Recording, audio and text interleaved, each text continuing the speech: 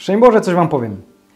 W filmie Sami Swoi padły takie kultowe słowa sąd sądem, ale sprawiedliwość musi być po naszej stronie. Tyle, że sprawiedliwość ludzka nigdy nie będzie równa sprawiedliwości Bożej. Bo my uważamy, że sprawiedliwie to równo dla każdego, a Bóg działa według naszych możliwości. To znaczy wymaga tyle, ile możemy znieść i daje nam takie zadania, które możemy wykonać. Choć wszystko może się wydawać dla nas za trudne. Gdy w dalszym ciągu nie rozumiemy logiki działania Pana Boga, to i nie udaje nam się uniknąć gniewu na bliźniego. Czasem o jakąś błahą sprawę, jak to, że się źle do mnie odezwał, albo nie zauważył czegoś, co dla niego zrobiłem.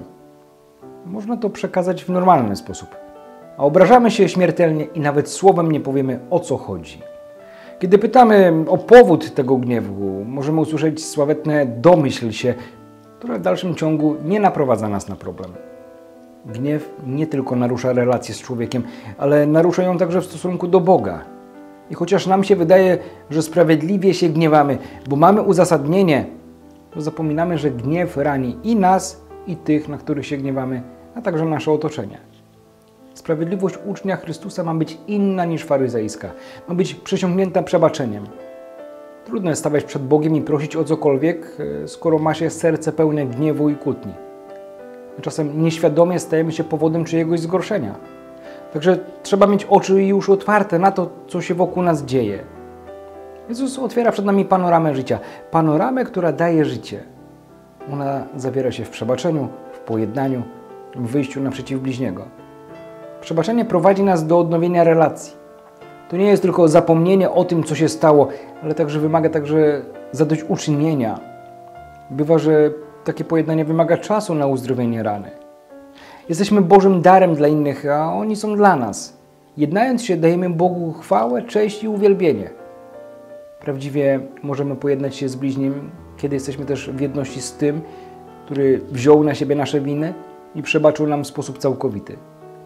Papież Benedykt zwraca uwagę na to, że przebaczenie jest modlitwą chrystologiczną. Przebaczenie przypomina nam o tym, który za przebaczenie zapłacił cenę uniżenia się do słabości ludzkiej egzystencji i śmierci krzyżowej. Także tylko w Jezusie jesteśmy w stanie przebaczać i przez to wejść w miłość Boga. Bolesław Prus zapisał: Bywają wielkie zbrodnie na świecie, ale chyba największą jest zabić miłość. Przykazanie mówi: Nie zabijaj. Jezus prosi o coś większego, by się nie gniewać. A kiedy to jest silniejsze i przez nasz gniew sprawiamy, że etykietujemy ludzi, to nawet sobie nie zdajemy sprawy, jak bardzo to rani. Nie chodzi o to, żeby mówić same komplementy, bo czasem się nie da. Jednak zwrócenie uwagi na czyjś błąd można także uczynić łagodnie. Umiemy bez słów pokazać, że ktoś jest dla mnie głupcem, a postępując tak, dajemy się poznać jako człowiek bez pokory i głębszego życia duchowego.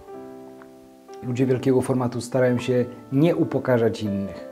Święty Paweł napisał: Gniewajcie się, a nie grzeście. Niech nad waszym gniewem nie zachodzi słońce, ani nie dawajcie miejsca diabłu. Czyli mamy urazy chętnie darować, nie żyć zranieniami, ale miłosierdziem, gdy nasza sprawiedliwość będzie większa. Z Panem Bogiem.